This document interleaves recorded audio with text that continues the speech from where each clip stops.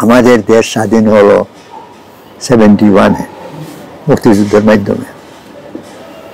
তখন, যখন দেশ স্বাধীন হয়, তখন, তখনকার দিনে বাংলা, তখনকার দিনে তো ইস্ট পাকিস্তান ছিল। কিছুই ছিল না। কার্ডিওলজি ছিল limited stethoscope ICG machine X ray আর যারাই আমাদের এখানে প্রফেসর অফ মেডিসিন ছিলেন, ওনারা কেউ কেউ কার্ডিওলজি করতেন। কিন্তু শুধু কার্ডিওলজি না সব মিলে সব কিছু করতেন। তো আমি আসলাম নাইনটিন সেভেন্টিতে ইলেকশনের আগে।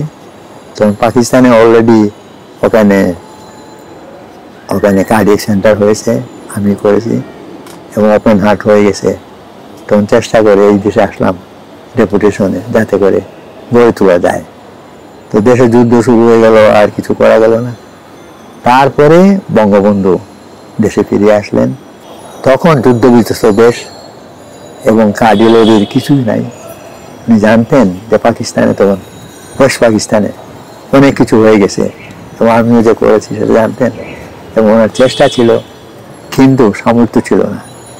তবুও এই অবস্থার মধ্যেও আমি বলব জাতির পিতা।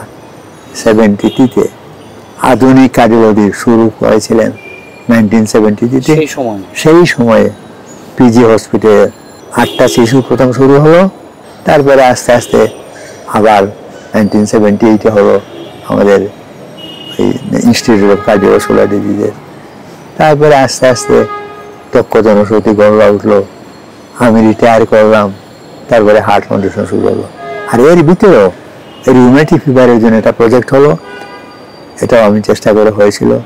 এবং আমার এখনও মনে আছে যখন মৌলানা বাসানি খুলনায় ওনার হার্ট অ্যাটাক হলো তখন আমি আর নুরুল ইসলাম সাহেব গিয়ে ওনাকে হেলিকপ্টারে নিয়ে আসছিলাম।